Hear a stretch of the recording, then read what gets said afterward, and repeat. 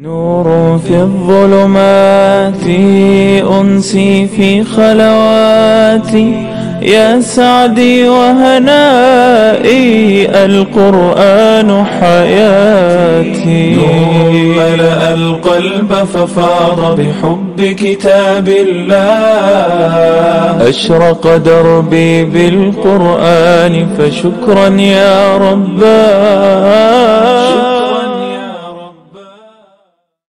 Bismillahirrahmanirrahim. Alhamdulillahirabbil alamin wa bihi nasta'in ala umuri dunya waddin. Wassalatu wassalamu ala asyrafil anbiya'i wal mursalin sayyidina wa maulana Muhammadin wa alihi tahirin wa ashabihil mayamin wa jami'i ibadillahi salihin al mukhlasin. Assalamualaikum warahmatullahi wabarakatuh.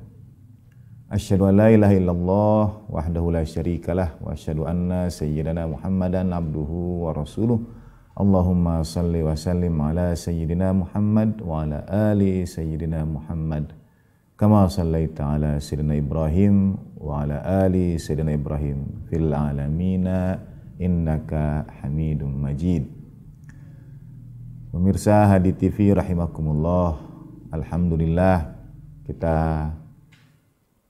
lanjutkan pembahasan kita tentang keajaiban-keajaiban, keistimewaan yang Allah Ta'ala anugerahkan bagi kita di dalam Al-Quran. Dalam niat mendekatkan diri kita kepada Allah Subhanahu wa Ta'ala melalui baginda Nabi Rasulullah Sallallahu Alaihi Wasallam kita berusaha untuk mengamalkan wasiat Rasulullah Sallallahu Alaihi Wasallam yang pertama agar senantiasa mempelajari Al-Quran, mendekatkan diri dengan Al-Quran, meraih ilmu yang ada di dalamnya. Di dalam Al-Quran surat Sod ayat 29 Allah Subhanahu wa taala berfirman, A'udzubillahi minasyaitonirrajim.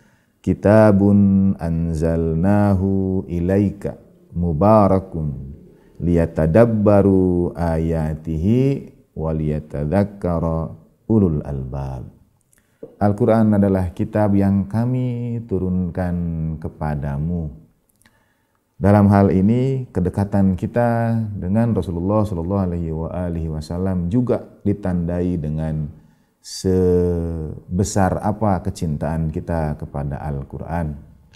Pada akhirnya hubungan kita dengan Al-Quran adalah juga hubungan kita dengan Rasulullah Shallallahu Alaihi Wasallam. Bagaimana kita memuliakan Al-Quran, begitulah kita memuliakan baginda Nabi Shallallahu Alaihi Wasallam. Karena inilah Alkitab yang diturunkan ilaika, diturunkan kepada Rasulullah Shallallahu Alaihi Wasallam. Mubarakun yang diberkati, yang penuh berkah. Dalam ayat-ayat Al-Quran, kata berkah dinisbatkan pada sesuatu yang mulia, sesuatu yang agung.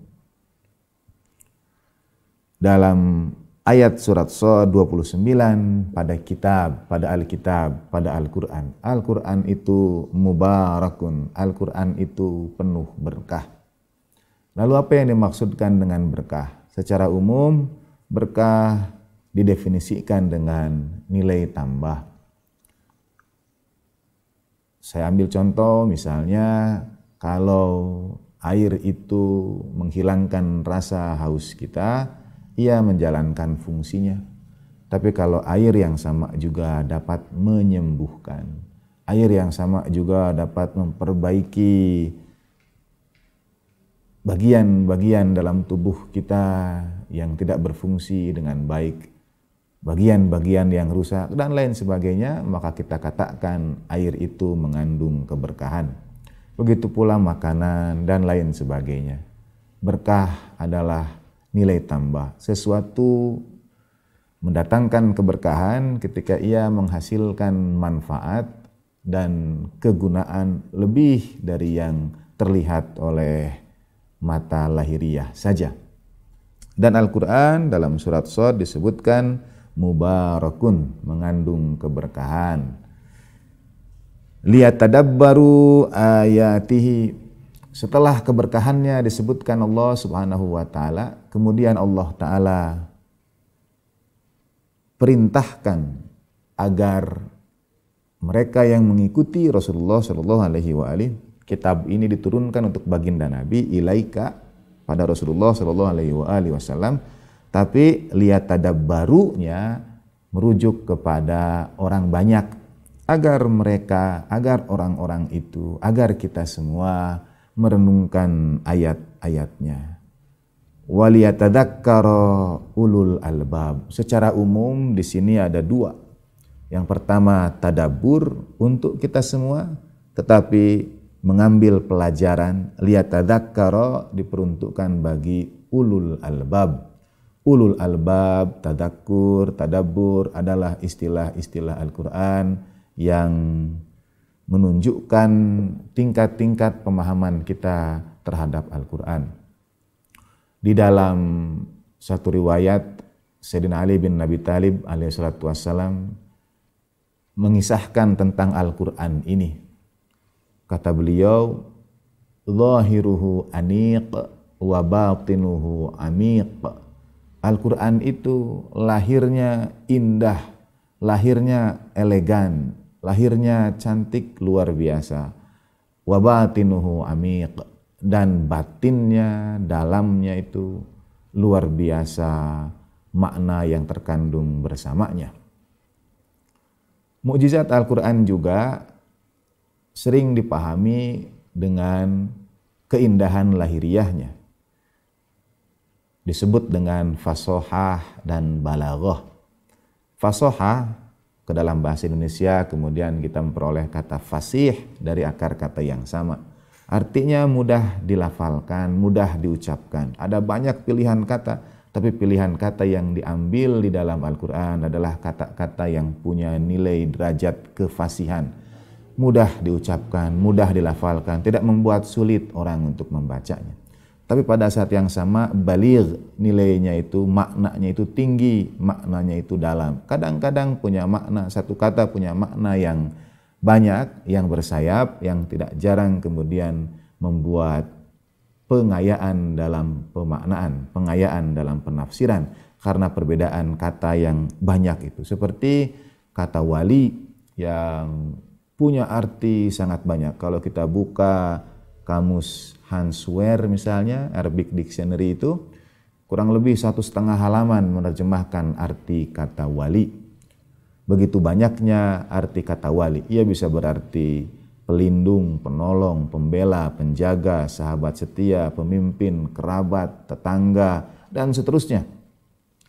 Yang urusan seseorang dipasrahkan kepadanya dan seterusnya. Nah, saat itu disebut dengan balir, kedalaman makna yang dikandungkan di dalam Al-Quran. Dan ulul albablah dalam surat Sod ayat 29 ini, kelompok ulul albablah yang disebutkan Al-Quran, yang senantiasa akan mengambil pelajaran, mengambil peringatan, liyatadzakkara ulul albab dari Al-Qur'an itu. Ayat surat Sod 29 menyampaikan kepada kita Al-Quran diturunkan pada baginda Nabi Shallallahu Alaihi Wasallam menunjukkan hubungan teramat kuat kita dengan Rasulullah Shallallahu Alaihi Wasallam selalu sampaikan salam salawat pada baginda Nabi sebelum dan setelah misalnya kita membaca atau mempelajari Al-Quran karena kitab ini diturunkan pada Rasulullah Shallallahu Alaihi Wasallam. Lalu mubarakun yang penuh berkah. Sebelum lihat tadabbaru ayatihi, sebelum orang-orang itu merenungkan ayatnya, mengambil pelajaran darinya, kata mubarakun didahulukan ini Al-Quran yang penuh berkah. Membacanya penuh berkah.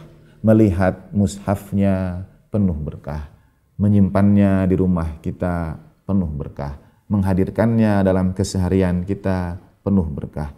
Membacanya dalam berbagai macam aspek kehidupan kita, acara-acara kita penuh berkah. Inilah makna mubarakun, kitab yang penuh berkah itu liyatadabbaru ayatihi agar orang merenungkan ayat-ayatnya dan mengambil pelajaran daripadanya ulul albab, mereka yang punya kesadaran, mereka yang punya hati, mereka yang punya keinginan untuk senantiasa menggali lebih jauh lagi apa yang ada dalam Al-Quran ini. Zahiruhu aniq, kata Imam Ali alaihi salatu wassalam, wa batinuhu amiq. Lahirnya indah dan batinnya sungguh teramat dalam sekali. Kali ini kita akan membahas keindahan Al-Quran dari sisi lahiriah. Selain secara kalimat, kata-kata yang dipilihkan dalam Al-Quran itu memang satu-satunya. Yang saya maksud satu-satunya dengan kefasihan dan balir balaghah Al-Quran meskipun ada banyak makna, ada banyak kata untuk menunjukkan makna tertentu, tapi Al-Quran memilih kata ini menunjukkan kata itulah yang punya kandungan makna yang dapat merangkum apa yang ingin disampaikan Allah Subhanahu wa taala kepada kita melalui kitab sucinya. Tapi selain itu ada keajaiban-keajaiban lain. Dalam ulumul Quran ia disebut dengan ijazul adadi atau ijazur raqami. Keajaiban dari sisi angka, keajaiban dari sisi jumlah. Sudah banyak para peneliti yang mencoba menelusuri rahasia angka di dalam Al-Quran ini. Ada misalnya yang secara khusus membahas misteri atau rahasia angka 19 dan kelipatannya. Karena kalimat-kalimat dalam Al-Quran misalnya ada yang terdiri dari 19 huruf lalu ada pengulangan angka 19 di dalam Al-Quran dan seterusnya. Itu i'jazul raqami.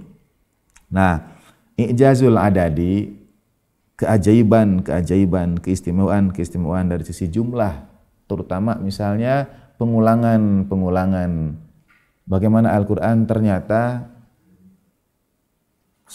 kata tertentu diulangi secara khusus. Saya ambil dari sebuah kitab ditulis oleh Abdur Razak Naufal dengan judul Al-I'jazul Adadi lil Qur'anil Karim. Mukjizat-mukjizat angka, keajaiban-keajaiban jumlah yang ada di dalam Al-Qur'an.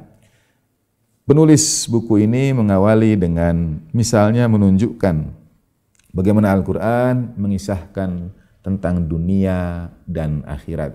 Bukankah Al-Quran adalah kitab yang diturunkan untuk membimbing kehidupan kita di dunia, menyambut kehidupan yang abadi di akhirat.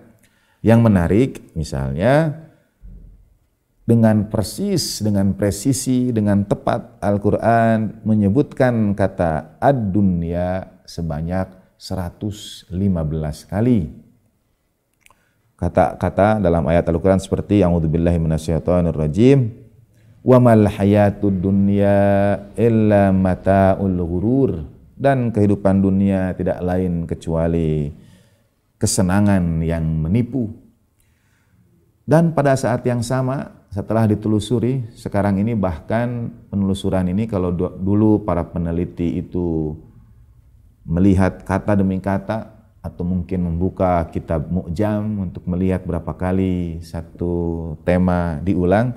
Sekarang kita bisa menggunakan program-program dalam telepon pintar kita, dalam aplikasi yang memang disiapkan untuk itu dan kita bisa juga mencari topik-topik lainnya, tema-tema lainnya, melihat berapa kali ia disebut di dalam Al-Quran misalnya.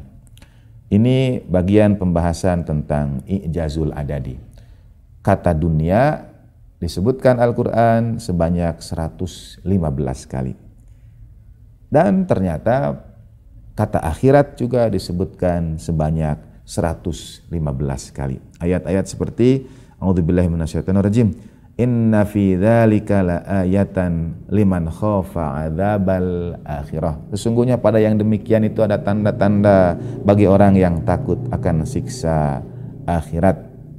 Nah, kesamaan ini, kesamaan pengulangan dunia disebut sebanyak 115 kali. Akhirat disebut sebanyak 115 kali. Di dalamnya menunggu rahasia untuk kita telusuri lebih jauh. Mengapa disebut hanya sebanyak 115 kali, tidak kurang dan tidak lebih? Itu rahasia Al-Quran yang senantiasa ingin kita gali. Contoh berikutnya, penyebutan kata setan dan malaikat. Kalau dunia dilawankan dengan akhirat, maka setan dilawankan dengan malaikat. Yang menarik, kadang-kadang dalam bahasa Arab itu ada kata yang digunakan dalam bentuk tunggal, ada kata yang digunakan dalam bentuk plural. Untuk yang tunggal, setan, syaiton. Untuk pluralnya, untuk jamaknya, syayatin. Nah, yang menarik, ada kesamaan lagi antara pengulangan penyebutan kata setan dan malaikat. Dalam bentuk tunggalnya, kata setan disebut sebanyak 68 kali. Dan kata malaikat juga disebut yang sama, tetapi dalam bentuk jamak sebanyak 68 kali. Jadi ada jumlah yang sama penyebutan kata setan 68 kali, kemudian penyebutan kata malaikat 68 kali. Tapi yang lebih menarik lagi, setan disebut 68 kali dalam bentuk tunggal. Sedangkan malaikat disebut 68 kali itu dalam bentuk yang jamak. Nah, tidak berhenti di situ. Ternyata bila dikembalikan, bagaimana kalau setan dalam bentuk jamak dan malaikat dalam bentuk tunggal?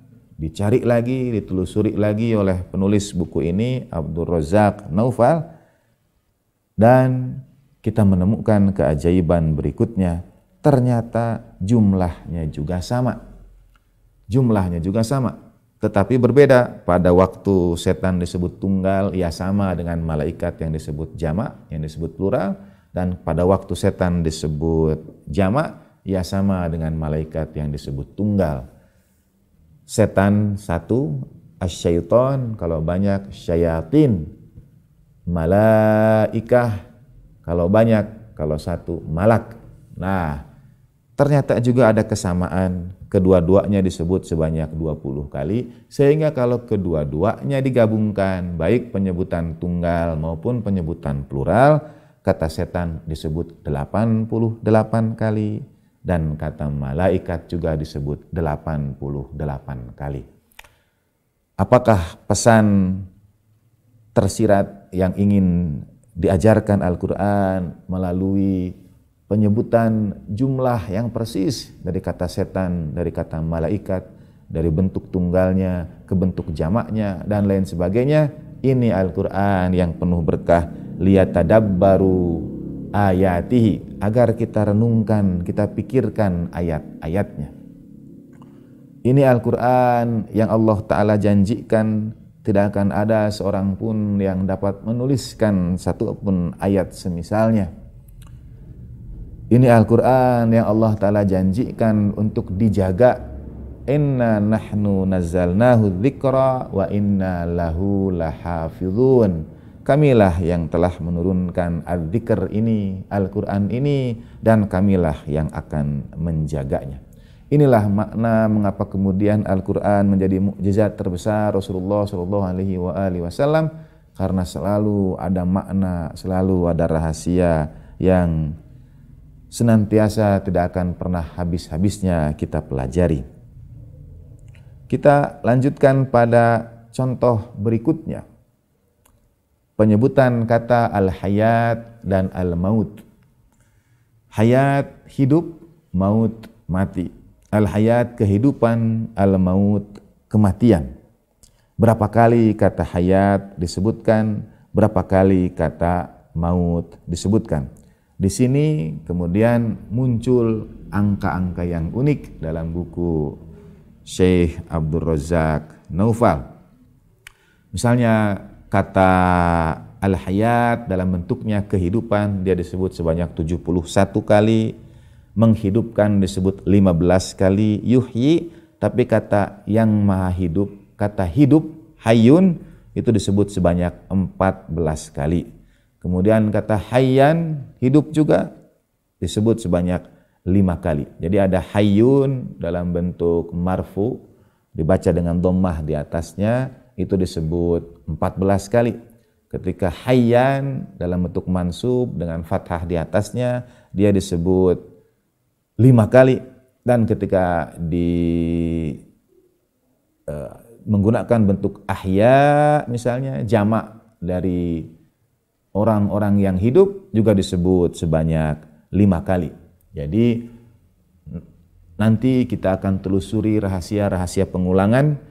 Ada pengulangan 14, pengulangan 7, pengulangan 5, dan lain sebagainya yang dalam lanjutan kajian-kajian kita ini kita akan mengambil keberkahan dari Al-Quran. Nah, hayat, maut disebut dengan angka-angka yang menarik untuk kita pelajari lebih jauh. Dunia, akhirat, setan, malaikat, atau kata-kata seperti al-basar dan basiro, kolbu dan fuad. Misalnya Al-Quran itu menggunakan untuk menyebut kata hati saja, ada beberapa kata. Ada lub, al-bab, yang kemudian menjadi tingkatan-tingkatan kesadaran di dalam tasawuf dimulai misalnya dari soder dada yang diterjemahkan dengan dada atau apa yang ada di dalam dada yaitu hati kemudian masuk kepada kolab hati juga masuk kepada fuad. Kita terjemahkan hati juga. Kemudian masuk kepada uh, sir atau kemudian asror dan lain sebagainya. Al-Quran juga menyebutkan penggunaan kata untuk manusia dengan bentuk-bentuk yang berbeda. Guru kita Ustaz Jalal, semoga Allah Ta'ala menjangkan usianya, pernah menuliskan penggunaan kata nas, insan, dan bashar yang digunakan di dalam Al-Quran. Semuanya merujuk atau kalau diterjemahkan artinya itu manusia bashar, manusia insan, manusia anas juga manusia. Tetapi mengapa Allah Subhanahu wa taala membedakannya secara khusus di satu ayat yang disebutkan itu bashar. Di satu ayat yang lain insan, di ayat yang lain anas. A'udzu billahi minasyaitonir rajim. Qul innama ana basyarum mithlukum yuha ilayya. Dalam surat dalam akhir surat Al-Kahfi ketika baginda Nabi wasallam diperintahkan Allah taala untuk berkata, "Katakan ya Rasulullah, aku ini baginda Nabi itu manusia juga yang sama seperti kalian." Qul innama ana basyarum mislukum. Dalam kalimat itu, dalam ayat itu Baginda Nabi menyebut diri beliau manusia sama seperti kita semua tapi menggunakan kata bashar. Adapun al-insan misalnya A'udzubillahi minasyaitonirrajim. Inna khalaqnal insana min nutfatin namsyajin nabtalihi faja'alnahu sami'an basira. Sungguh kami telah ciptakan manusia di situ Allah Ta'ala menggunakan kata insan. Atau dalam surat Ar-Rahman. Ar-Rahman allamal Qur'an khalaqal insan. Ar-Rahman sang maha pengasih. Ar-Rahman allamal Qur'an yang mengajarkan Al-Qur'an. Khalaqal insan, kemudian menciptakan manusia. Dalam pembahasan presisi Al-Qur'an, daqaiqul Qur'an, jadi perhatian kita urut-urutan itu. Tidak ada yang kebetulan dalam Al-Quran. Mana yang ditempatkan lebih dahulu itu mengandung makna, mengandung pelajaran, mengandung hikmah teramat luhurnya. Itu makna balaghah Al-Quran. Jadi ketika Al-Quran mendahulukan Ar-Rahman, Sang Maha Pengasih, lalu Alam Al-Quran, yang mengajarkan Al-Quran, baru setelah itu Khalaqal Insan, menciptakan manusia pengajaran Al-Quran didahulukan dari penciptaan manusia di dalam ayat-ayat itu. Apa makna insan di situ? Dan yang terakhir, An-Nas. A'udzubillahi minasyaitonirrajim. Qul a'udzu birabbin nas. Katakan aku berlindung dengan Tuhan manusia seluruhnya. Ke dalam bahasa Indonesia, baik basyar, insan maupun anas, semuanya diterjemahkan menjadi manusia. Tapi kalau tidak ada rahasia di balik itu, mengapa Allah Ta'ala, mengapa Al-Quran tidak menggunakan satu kata saja, tetapi mengapa ada basyar, mengapa ada insan, mengapa ada anas.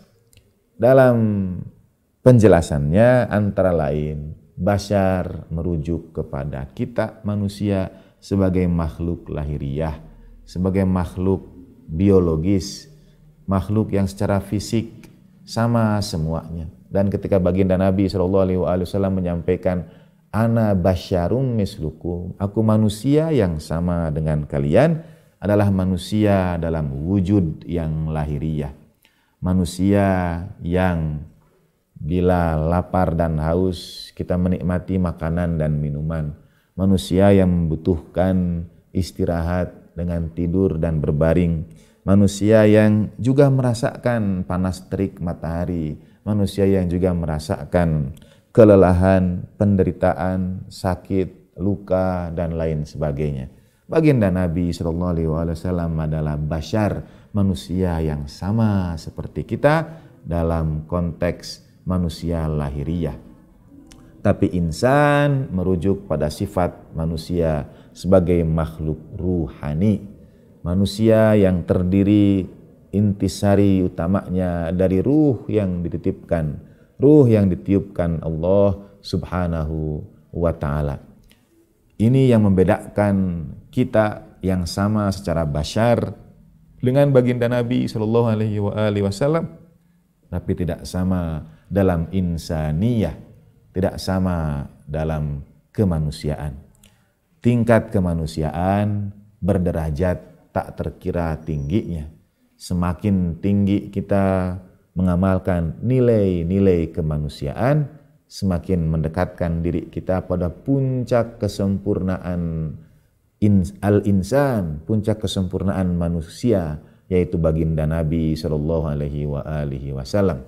Baginda Nabi adalah perwujudan insaniyah, kesempurnaan nilai-nilai kemanusiaan, nilai-nilai kebaikan yang ada dalam manusia seluruhnya. Karena itu, amal-amal baik, nilai-nilai luhur yang universal, yang dirasakan oleh manusia apa pun kelompoknya, apa pun agamanya, apa pun latar belakangnya, sama-sama menjunjung tinggi al-insaniyah, nilai-nilai kemanusiaan. Dan puncaknya adalah baginda Nabi Shallallahu Alaihi wa alihi Wasallam. Itu insan. Dan yang terakhir adalah anas. Anas merujuk pada manusia sebagai makhluk sosial manusia yang bermasyarakat, berserikat, berkumpul bersama-sama. Kalau kata-kata anna sering merujuk kepada manusia sebagai komunitas. Inilah rahasia-rahasia Al-Quran. Ada i'jazul adadi, rahasia dari sisi jumlah, rahasia dari sisi angka, ada i'jazul lafazi, rahasia dari pemilihan kata-kata, pemilihan angka, dan lain sebagainya. Yang terakhir untuk Ijazul Adadi. Sebetulnya masih banyak lagi pada buku Syekh Abdul Razak Naufal tentang Ijazul Adadi ini ada 257 halaman dan yang kita bahas baru sampai pada halaman ke-20. Tapi sekedar seperti biasa untuk menambah ketertarikan kita lebih jauh agar dengannya kita didekatkan pada Al-Quran. Ada pertanyaan yang dapat kita tanyakan pada anak-anak kita, keluarga kita, saudara kita tentang ijazul adadi ini. Misalnya kata bulan disebutkan Al-Quran sebanyak 12 kali. Sebanyak bilangan bulan dalam satu tahun. Tetapi kata hari disebut sebanyak 365 kali. Para pemirsa mungkin akan mengatakan sebanyak jumlah bilangan hari dalam satu tahun. Betul, tapi ternyata hari yang digunakan adalah hari dalam hitungan syamsiyah, hitungan peredaran matahari. Sedangkan Islam menggunakan perhitungan bulan. Apakah juga ada rahasia dari mengapa jumlah hari yang disebut justru menggunakan peredaran matahari? Itu yang menunggu untuk kita gali lebih jauh lagi. Liyatadabbaru ayatihi waliyatadakkaru ulul albab. Wa ma taufiqi illa billah alaihi tawakkaltu wa ilahi unib wa sallallahu ala sayyidina Muhammadin wa ali tahirin walhamdulillah rabbil alamin wassalamualaikum warahmatullahi wabarakatuh نور في الظلمات أنسي في خلواتي يا سعدي وهنائي القرآن حياتي. نور ملأ القلب ففاض بحب كتاب الله. أشرق دربي بالقرآن فشكرا يا رباه